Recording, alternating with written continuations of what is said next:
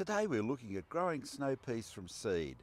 Snow peas are a wonderful vegetable. You can use them in stir fries, you can eat them fresh, you can put them in salads and a myriad of other recipes. They're easy to grow. You can get climbing snow peas or you can get bush snow peas. Today we're planting the climbing variety and we're planting them on a simple wire trellis. They're a cool season crop and you can plant them at any time from spring right through to autumn or fall, depending on your climate, but remember they don't like frosts and freezes. There are two theories on planting snow peas. One, that you should soak the seeds for 24 hours before planting them. Two, that you can plant the seeds directly into the garden. We're a firm believer in planting them directly because if you water the soil well enough before you plant them, then the seeds will germinate reasonably quickly. You can add a little liquid seaweed fertiliser and that's going to help the seeds.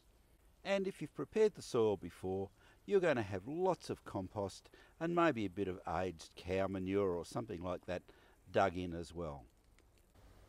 Here we have the seeds. The only thing you really need to know is how deep to plant them. And we use the rule of thumb, or at least the inch part, that part of the thumb, the first joint. That's called an inch and we plant them an inch deep or 2.5 centimetres. OP seeds usually get a germination rate of around about 70%.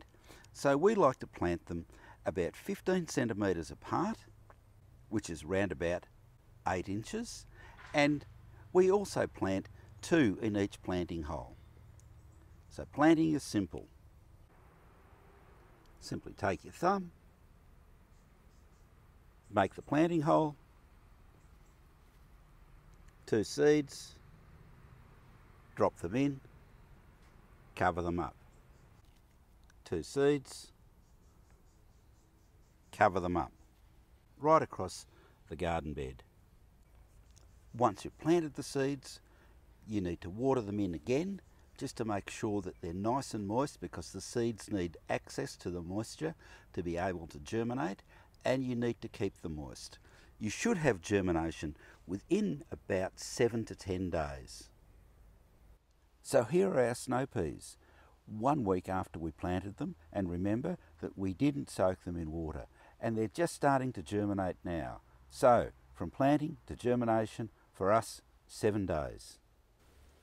And when the seeds germinate, you just need to give them a little bit of help to start climbing the trellis. And just to explain what's happening here, we've adjusted our trellis a little bit so that it's in front of the peas.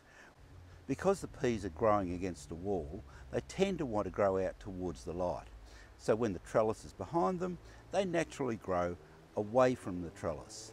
When it's in front of them, they'll grow forwards, hit the trellis, and then climb up. And all that means is less work for us, and it makes it easier for the peas. As for fertilising snow peas, a little pinch of sulphate of potash which encourages flowering and therefore more peas applied twice during the growing season should be sufficient if you've got a rich enough soil. And if you want to, you can collect your own seeds at the end of the season. We'll show you how to do that in another video. Subscribe to the YouTube channel for regular updates on all aspects of vegetable gardening and indeed a whole range of other plants as well. And as always, good luck with your gardening.